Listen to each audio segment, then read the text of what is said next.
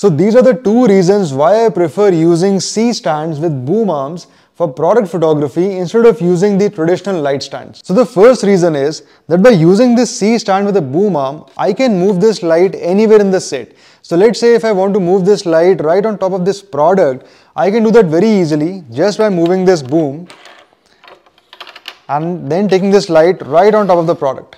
Okay, very simple.